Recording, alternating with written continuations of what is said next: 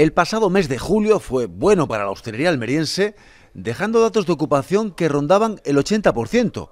Todo ello a pesar de las elecciones generales o la inflación. Pues ha sido un mes de julio, vamos a definirlo como raro. Ya te digo, hemos empezado con una ocupación media muy bajita, en torno a un 60-65%.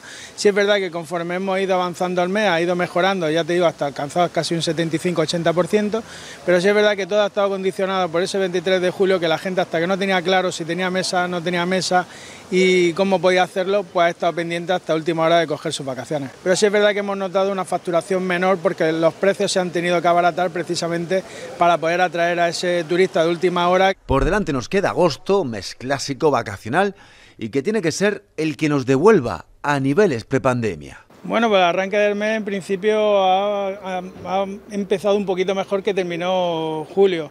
Eh, lo que esperamos es que a lo largo del mes vayan subiendo esas cifras de ocupación y podamos, podamos dar un buen resultado a final de mes. Pues creemos que la ocupación va a estar bastante alta, vamos a tener quizás llegando a un 90% de ocupación, sobre todo también teniendo en cuenta que los hoteles del centro en las fechas de, la feria tienen una, una ocupación cercana al 100%, pues eso va a hacer que este mes de agosto suba. Pero sin duda, cada vez que hablas con hosteleros, siempre te ponen la misma pega la inflación.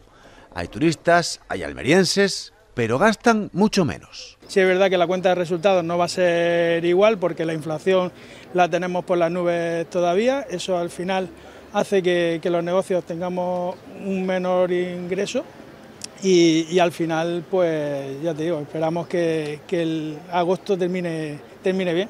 La provincia de Almería experimentó hasta julio un incremento del número de viajeros de más del 10% un crecimiento que seguirá seguro en este mes de agosto.